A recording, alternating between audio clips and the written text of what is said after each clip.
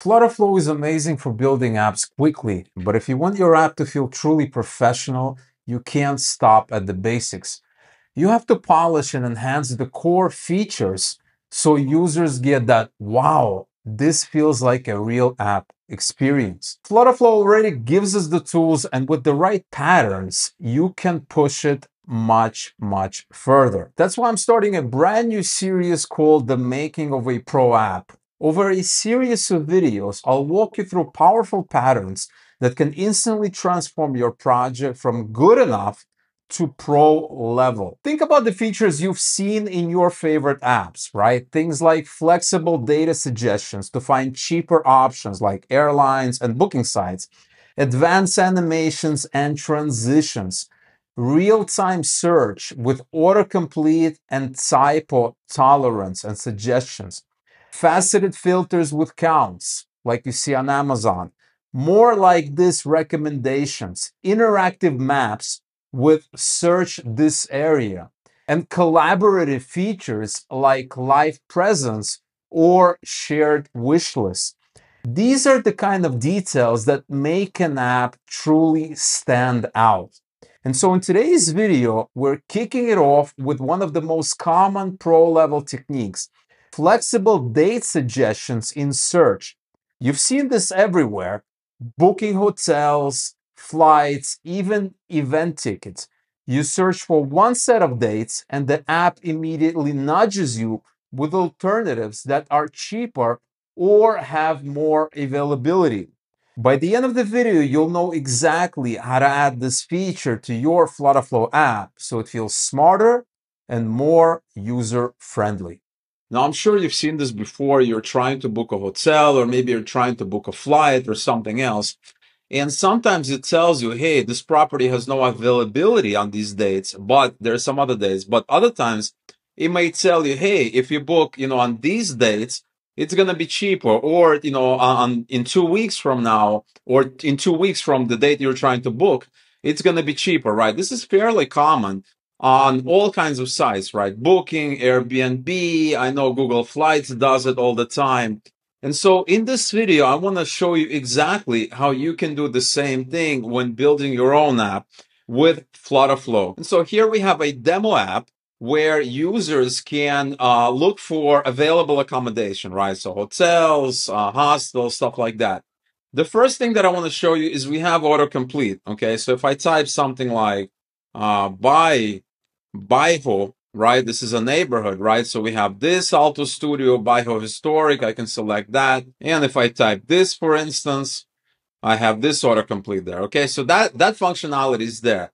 But the big functionality is the suggestions, right? So if I click here, it's going to go ahead and search for different availabilities on that date. And this is what it tells me. Okay, so these are the hotels that are available. It's nicely sorted from, you know, the least expensive to the most expensive but it also gives me suggestions. It tells me, hey, if you book three days before, right, three days earlier, right, you move your booking, the whole booking three days earlier. So instead of the 10th and the 13th, the 7th and the 10th, it's going to be 22% cheaper. So if I click here, I can switch my dates. It's going to do the search again. And now it's telling me that, look at this, it's, it's a lot cheaper, right? We, we have completely different numbers, right? You saw the numbers before right? 105 for this uh, cozy corner. But if I go back here, it's going to be a lot cheaper. Okay, so now it's 68 per night, right? And it keeps giving me these recommendations depending on where I'm at, depending on, you know, what kind of hotels I'm looking for, and especially the dates that I'm searching. And so here it tells me I can move it by one day, by two days, etc., etc. And so I can kind of play with this and see where you know on what dates it gives me the best um the, the best price the best offer okay? And obviously you can change this ui because you're getting all of this in easy to parse format. You're getting all of this in json format so you can kind of change the ui you can do whatever you want but the key here is in how you set all of this up okay? So let's go ahead and let me show you the overall architecture of how this works okay so there's a, a couple of moving pieces here. The first thing is that we're using Supabase as the source of truth. Okay. So if I go into my Supabase database, it's very, very simple, right? We have the listings table that contains all the listings. We have the bookings that contains the bookings for a specific listing. And we also have the calendar, right? That specifies whether it's available, the price, stuff like that. So if I go here, for instance, right, we have the bookings, we have the calendar, and we have the listing. So everything starts from listings, right? So we have these listings here, right? We have 20 listings.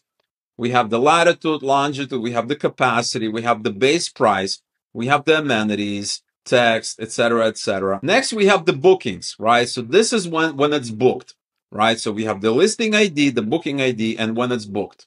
So that, you know, we know that, you know, it's not available on these days, that specific listing. And if we take a look at the calendar table, we have a different view, right? We have a specific day and whether it's available and the price. Okay. And all of this allows us to get the exact data to offer suggestions. Okay. Now, the next thing that we need to do here is we need a fast indexer, right? We need a fast search engine. Okay. And for that, I decided to use OpenSearch. So if you head over to opensearch.org, uh, you can learn more about this tool. And this is an amazing tool. It's open source. It's completely free. You can host it yourself. You can do whatever you want but this gives you amazing uh, capabilities. So it gives you things like ma- machine learning and AI, search, uh, analytics, you know, all kinds of interesting things, right? Lots and lots of features. And you can easily host this tool uh, everywhere. Okay. So in my case, I decided to host it on Railway. Okay. You don't need to host it on Railway, but it's very, very easy to host it on Railway. So for instance, all I need to do is I just go over here and I say I want to create a new project. I go to template and I can just search for open search and you can, can just click here and it builds an instance for you, right? That, that is exactly what I did. And so if you go back here, I have this open search instance. And in my case, I have two kind of components. We have the dashboard and we have the actual uh, open search uh, instance here. Okay. So if I go over here I can click on this URL. That's going to open up my own instance here, right? This is the dashboard and it is connected. It is configured to be connected to that, uh, to the actual instance. Okay. So here I can add data. I can manage, um, you know, the dashboard is not like, it's not the greatest dashboard, right? It's not like Supabase style dashboard. And that is because a lot of the kind of uh, manipulation, managing of your data, you're going to be using via an API. Okay. So I can add sample data here right? This is sample data. But for working with your data, you're going to be interacting via the API, right? So for instance, here's an API call to uh, get my data, right? Get all the searching stuff. And here I can see all my index, right? All the listings, everything that was in Supabase. Okay. And so once we move our data from Supabase, which is the source of truth, right? Which is where our data is, is stored initially and modified and all that. And so once we move it to OpenSearch, uh, we get access to a lot of cool features, things like fast searching, aggregation, lots and lots of features that are either very difficult or almost impossible to do in Supabase, right? Because Supabase is, is a storage, right? it's a database. But for searching, you want to be using something else that's specifically designed for searching. And so OpenSearch works really, really well for this specific use case. And so what we need to do is we initially, once we have the data here, we need to send it here via an API. And then uh, anytime you're modifying the data, you need to be syncing it with, with this tool here. Okay. And so once you have your data here, you can now easily access it, do all kinds of aggregations, a lot of cool stuff. Now, the actual uh, logic, the actual kind of magic, that is happening using this kind of architecture here, right? So First is the autocomplete API, right? That is handled by OpenSearch, right? So once you start typing something, it can provide suggestions. Now, the way that we have autocomplete configured here in Flutterflow is actually very, very simple, right? So if I go to this text field here, I have an onChange event, right? So anytime the user makes a change, uh, we send a request, okay? We wait, you know, some milliseconds. We don't want to be like sending a request once they type a letter. We want to like, you know, have them type a couple of letters and then wait to see if they're done and then send a request. And you can do that by selecting this field, clicking this, and if you scroll down all the way down, you can actually enable autocomplete here. Okay, once you enable autocomplete here, you're going to have autocomplete properties here where you can open that up and you can display the autocomplete options. Okay. And so what happens is once the user starts typing something, we do an API call, right? You can see this over here, this autocomplete API call, and we get the data back and we update page state. And once we update page state, uh, this gets filled with these autocomplete results, right? These autocomplete options. Okay. And so if we go to the, our APIs, you can see that we have an API call that does autocomplete. We're passing in the information and we also have an API uh, call for search. Okay. Where we're passing in the latitude, longitude, radius, guess, check in, check out, limit, all of that good stuff here, right? And for autocomplete, we're just passing the query and the limit. How many options, how many uh, suggestions do we want to see? Now, you may have noticed that our API calls, they have the Supabase in them. And that is because we are using Supabase edge functions as kind of proxies before we send to OpenSearch. And that is done for several reasons. The first reason is that it's for security, right? You don't want to just expose OpenSearch in your app, right? You want to have a Supabase function that connects to OpenSearch, right? And then you can, you can control the security on the Supabase side.